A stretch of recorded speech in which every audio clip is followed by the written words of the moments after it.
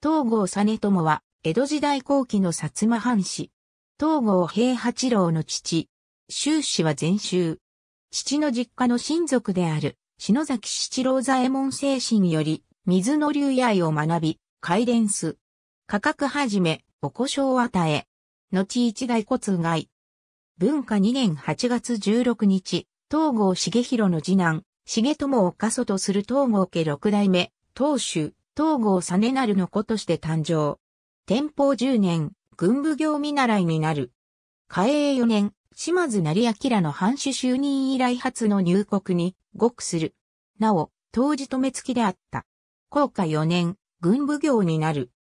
安政6年4月、島津成明が、指宿で行った井戸の増設を記念する石踏みを、指宿里の上山市や軍部業所の同僚と共に、二月殿温泉に建てる。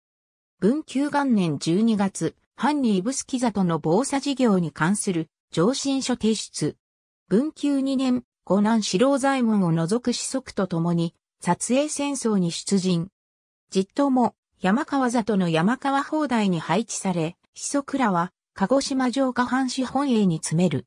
源氏元年3月、後部業になり一代骨外に昇格。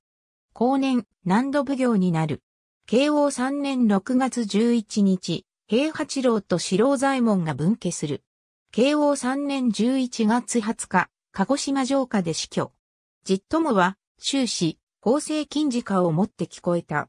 また指揮権があり、海外事情を注視して、外国船の無礼を憤っていた。じっともの読んだ和歌に、異国の船靴かへせ、諸人の祈る誠を知れよ神風というのがあった。鹿児島城下絵図散歩では、現在の鹿児島県鹿児島市梶屋町に、東郷吉左衛門宅地があった。広さは267坪。なお、清少東郷全風では、東郷吉左衛門宅についての記述あり。記述は以下の通り。なお、東郷家の家屋は西南戦争で消失したという。また、隣近所に伊藤萌右衛門博之が住んでいた。島津成明講師料第一巻参照。ありがとうございます。